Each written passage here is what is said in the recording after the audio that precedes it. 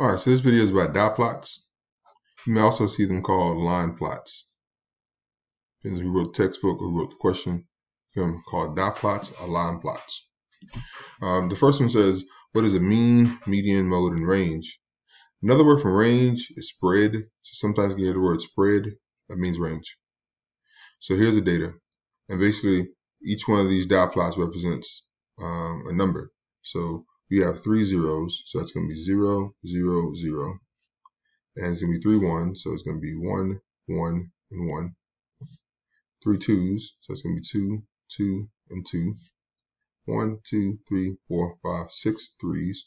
So it's 3, 3, 3, 3, and 3, 3. And then we got 1, 2, 3, 4 fours. So I'm going to start the list here. 4, and then 4, and then 4, and then 4.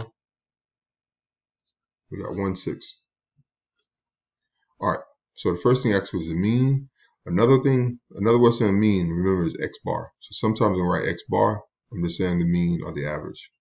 So mean or X bar are the average. That's what I'm asking you for. So I find an average there, I add all those up and divide by total number of data points. So that looks to be um, 1, 2, 3, 4, 5, 6, 7, 8, 9, 10, 11, 12, 13, 14, 15, 16, 17, 18, 19, 20. There's 20 data points. So you plug all into your calculator. And it's 0 plus 0 plus 0. 1 plus 1 plus 1 is 3. And we'll call that plus 3. 2 plus 2 plus 2 is 6. So let me just say plus 6. 1, 2, 3, 4, 5, 6 threes. So that's 18.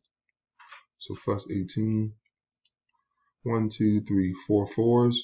So that's 16. Plus 6. That sum is 49. We have 20 data points. So it's divided by 20. So my mean is 2.45. So the mean is 2.45. To find our median, we want to find the middle of that data set. We got 20 of them. So I'm going to take 20. Let's shortcut, we take 20 divided by 2. We get the middle of it, and that gives you 10. So this is an even number. That means got two numbers in the middle. I got to figure out the average. So I'm going to count over 10. 1, 2, 3, 4, 5, 6, 7, 8, 9, 10. So these two are in the middle. So 3 plus 3 is 6. And that's to give you um, 3 when you when you divide it by 2 again. So my median is 2 is 3. So my median um, median is 3. Let's circle these. My median was 3. My mean is 2.45 mean, median, and mode. Our mode for this data set should be the most recurring number. The one with the tallest list is clearly 3. So my mode is 3. And my range or my spread, my spread is the highest number, subtract the lowest number. So my spread is 6 take away 0 or 6. Again, spread and range all the same. Anyway, so that's how we answer mean, median, mode, and range with a dot plot. Hope that makes sense. I'll give you one more example just like it though, and maybe you can try it on your own or just listen to me talk about it again. Here it is. So the example says the resting pulse rates were recorded for 16 boys in the gym class before the exercise. The line plot here shows the results. Notice they call it line plot instead of dot plot this time. It says what's the range of the pulse rates? So it's going to be the spread. So it's the highest number, strike the lowest number. That should be 6. So my range or my spread 6. I want to keep using both words because on the test, you can see the word, and I want you to understand they both mean the same thing. Next thing says the mean. So in order to find that, I need to add all those up. So it's going to be 279s, 480s,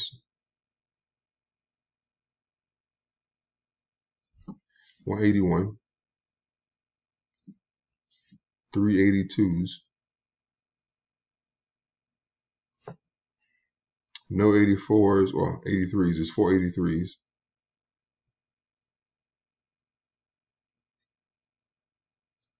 And two 85s. So if I'm a mean this time, I'm going to shorten that up a bit. I'm going to write that as 2 times 79 plus 4 times 80 plus 1 times 81 um, plus 3 times 82